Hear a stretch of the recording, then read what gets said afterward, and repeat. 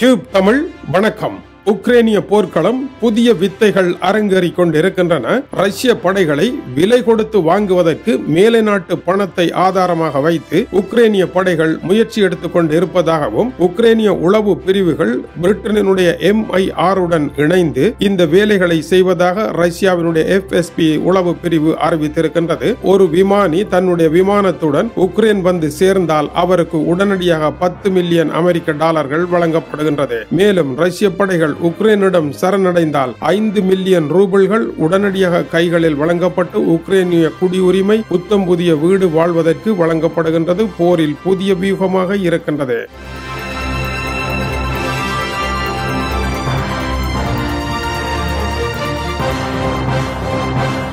இருபத்தி ஓராம் நூற்றாண்டில் போரில் நடைபெறுகின்ற லஞ்சமும் புதிய உத்திகளும் உக்ரைன் ரஷ்யா இரு தரப்பிற்கும் இடையே உலகத்தை ஆச்சரியப்பட வைத்திருக்கின்றன. முதலாவது ரஷ்ய விமான படைகள் அல்லது கவச வாகன படைகள் தங்களுடைய விமானங்களுடன் அல்லது உலங்கு வானூர்திகளுடன் உக்ரைனுக்குள் வந்து சரணடைந்து அந்த விமானங்களை ஒப்படைத்தால் ஒருவருக்கு பத்து மில்லியன் அமெரிக்க டாலர்கள் வழங்கப்படும் என்று உக்ரைன் பேரம் பேசியதாக ரஷ்யாவினுடைய எஃப்எஸ்பி உளவு பிரிவு செய்தி வெளியாகி இருக்கின்றது. ரஷ்யாவை பொறுத்தவரையில் உக்ரைனிய படைகளை நாஜிகள் என்றும் முற்றாக துடைத்தறிவோம் என்று கூறி உக்ரைனிய படைகளுக்கும் உக்ரைனிய மக்களுக்கும் இடையே வேறுபாடு இருக்கின்றது என்று பிளவை ஏற்படுத்தி உக்ரைனிய ஆயுததாரிகள் சரணடைய தவறினால் அனைவரும் கொன்றொழிக்கப்படுவார்கள் என்கின்ற இரண்டாவது உலக மகா யுத்த கால மிரட்டல் நடவடிக்கையை மேற்கொண்டிருக்க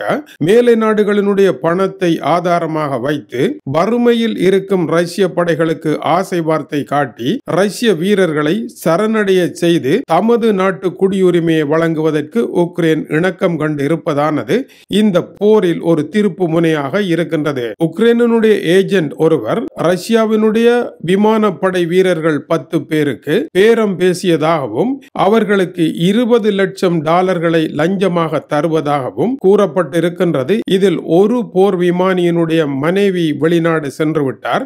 அவருடைய காதலி வெளிநாடு செல்ல இருக்கும் தருணத்தில் அகப்பட்டு விசாரித்த பொழுது இந்த உண்மைகள் வெளியானதாக ரஷ்யா குறிப்பிடுகின்றது. ரஷ்யாவினுடைய கிரெம்லின் பேச்சாளர் டிமிட்ரி பெஸ்கோவ் அவர்கள் எஃப்எஸ்பி உளவு பிரிவினர் சரியாக உரையாடல்களை கவனித்து இந்த விவகாரத்தை கண்டுபிடித்தது பாராட்டுக்குரியது என்று தெரிவித்திருக்கின்றார். இந்த பேரம் பேசலில் இப்பொழுது உக்ரைனில் வாழ்ந்து வரும் பல்கேரியா நாட்டை சேர்ந்த கிறிஸ்டோ குரசேவ் என்பவர் முக்கிய பாத்திரம் வகித்திருக்கின்றார் என்றும் இவர் ரஷ்ய விமானப்படைகளுடன் பேசினார் என்றும் இங்கிலாந்தினுடைய எம்ஐ ஆறு என்கின்ற உளவு பிரிவுடன் தொடர்புடையவர் என்றும் ரஷ்யாவில் அலெக்சாய் நவால்னி நஞ்சூட்டப்பட்ட பொழுதும் அந்த விவகாரத்தை முதல் முதல் இவரே அம்பலத்திற்கு கொண்டு வந்தவர் என்றும் கூறப்படுகின்றது. இவரே பேரம்பேசலில் ஈடுபட்டார் என்றும் அந்த செய்தி தெரிவிக்கின்றது. அதேவேளை இந்த செய்தியை உறுதிப்படுத்தும் விதமாக உக்ரைனுடைய பாராளுமன்றிலும் நடைபெற்ற தீர்மானம் மிக முக்கியமானது. ரஷ்ய படை வீரர்கள் போர்க்கப்பல் ஒன்றும் அல்லது போர் விமானமும் இவை முதலாம் இரண்டாம் தரத்தில் புதியவையாக இருந்தால் உடனடியாக அவர்களினுடைய கையில் ஏழு தசம் மூன்று மில்லியன் குரோனர்கள் வழங்கப்படும். ஹெலிகாப்டர்கள் போர் விமானங்கள் தரம் இரண்டு மூன்று பாவனைப்படுத்தப்பட்டதாக இருந்தால் மூன்று தசம் ஏழு மில்லியன் குரோனர்கள் வழங்கப்படும். கவச வாகனங்களுடன் உக்ரைனுக்கு வந்து சரணடைந்தார்களாக இருந்தால் ஏழு லட்சத்தி முப்பதாயிரம் குரோனர்கள் வழங்கப்படும் என்று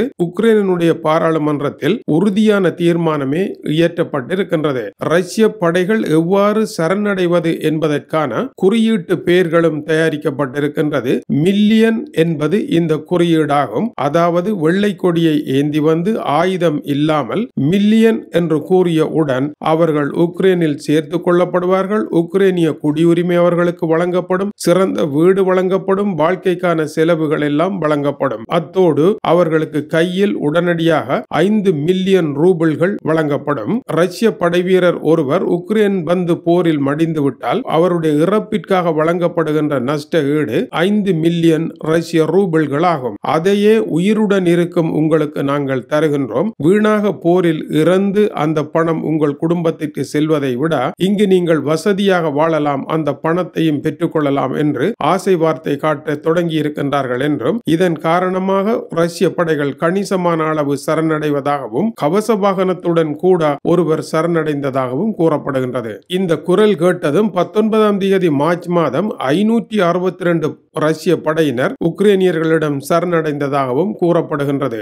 ஒரே நாளில் நடைபெற்ற மிகப்பெரிய சரணடைவு இதுவாகும். ரஷ்ய படைகளை பொறுத்தவரையில் அவர்கள் கூறுகின்றார்கள் நாங்கள் களைத்து விட்டோம். எங்கள் குடும்பத்துடன் வாழ நாங்கள் திரும்ப வேண்டும். ரஷ்ய அதிபரனுடைய ஆசைக்காக நாங்கள் இதற்காக வீணாக சண்டை போட்டு மரணிக்க வேண்டும் என்று இன்றைய புதிய ரஷ்ய போர் வீரர்கள் கேட்கின்றார்கள். ஏனென்றால் ஏற்கனவே பதினேழாயிரத்தி ஐநூறு ரஷ்ய படைகள் மரணித்து அறுநூறு கவச வாகனங்கள் உக்ரைனில் உடைந்து விட்டது. இப்பொழுது மேலை நாடுகளினுடைய நவீன ஆயுதங்கள் போர்க்களத்தில் போரிட்டுக் கொண்டிருக்கின்றன. உக்ரைனிய தரப்பில் இருந்து இரண்டாவது உலக மகா யுத்த கால பழைய ஆயுதங்களை வைத்துக் கொண்டு போரிட்டு மடிய வேண்டிய தேவையில்லை என்று ரஷ்ய படைகள் நினைக்கின்ற காரணத்தினால் மேலை நாடுகளுக்கு பயணிப்பதற்கான வாய் வாய்ப்பு விசா குடும்பத்தினருக்கு பத்தாயிரம் டாலர்கள் மேலதிகமான அன்பளிப்பு போன்ற பெரும் பணத்தொகை வழங்கப்பட்டு ரஷ்ய படைகள் மடை மாற்றப்பட்டு கொண்டிருப்பதாக ரஷ்யா தெரிவிக்கின்றது. இதில் எவ்வளவு தூரம் உண்மைகள் இருக்கின்றன என்று தெரியவில்லை. ஆனால் ரஷ்ய படைகளை விலைக்கு வாங்கும் நாடகமானது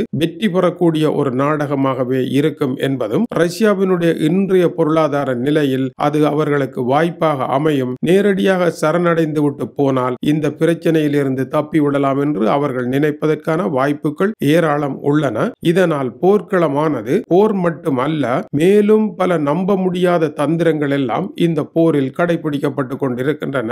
உலகத்தில் நடைபெற்ற போர்களில் மிகவும் நவீனமான மிகவும் நயவஞ்சகமான போருக்கென்று எந்த நியாயம் இருக்கின்றது என்று வகுக்கப்பட்ட எல்லா நியாயங்களையும் உடைத்தறிந்துவிட்டு புத்தம் புதிய நியாயம் ஒன்றை இது ஏற்படுத்தி கொண்டிருப்பதுதான் இந்த போர் எதிர்கால போர்களுக்கான ஒரு வழிகாட்டி போராகவும் இருக்கின்றது. கவனிக்கத்தக்கது பொய்கள் இந்த போரில் மிகப்பெரிய பாத்திரம் வகிப்பதையும் மறுக்க முடியவில்லை. இது டியூப் தமிழ் காணொலிக்காக டென்மார்க்கில் இருந்து கீசே துறை வணக்கம் உறவுகளே.